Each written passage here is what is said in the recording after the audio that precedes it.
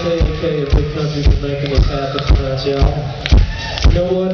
I wouldn't be up on stage if I didn't have country radio playing my music for y'all. So thank you guys very much.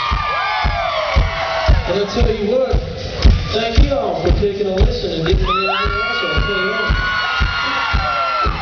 But you know, it's time to bring you something that inspired me to get into country music. It happens to be one of the best country performers to ever cross the stage, y'all.